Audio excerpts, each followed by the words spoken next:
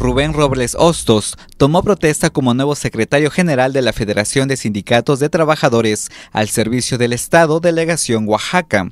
En una ceremonia realizada en un conocido hotel de la ciudad de Oaxaca de Juárez, durante su intervención detalló que durante su gestión se hará énfasis en reforzar la unidad de sus filas como primer compromiso, a través de la voluntad política de cada uno de los representantes sindicales de la entidad, lo anterior a través del trabajo y en coordinación de los líderes en proyectos políticos, sociales y sindicales. El trabajo.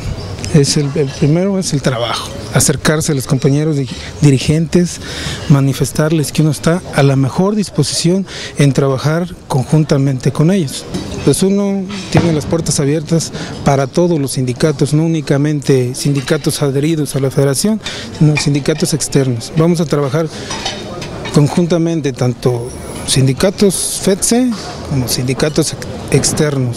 Esa es la, idea de, de, un servidor. Por su parte, Gilberto Sánchez Osorio, vicepresidente del Comité Ejecutivo Nacional de la Federación, detalló que garantizar la estabilidad del empleo en el país a través de la formalización de compañeros que no gozan de derechos laborales plenos y seguridad social será el principal reto del nuevo comité, detallando que esa cruzada en la formalización del empleo en su primera etapa ha incorporado a 10.000 sindicalizados del ISTE así como remarcar que este nuevo modelo económico implementado por el gobierno federal es una forma de darle empleo y trabajo bien remunerado a la población. Es una cruzada que ya empieza a dar sus primeros resultados.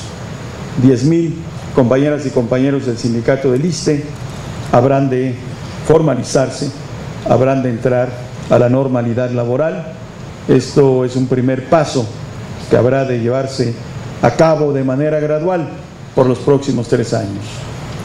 También para los compañeros de la Secretaría de Salud ha iniciado un ambicioso programa de formalización en el empleo, seguridad en el empleo, seguridad social, derechos laborales garantizados, con un número de más de 10.000 compañeras y compañeros que en una primera etapa han entrado a este proceso de normalización. Con imágenes de Citlali Aragón, informó para MVM Televisión Celestino Chacón.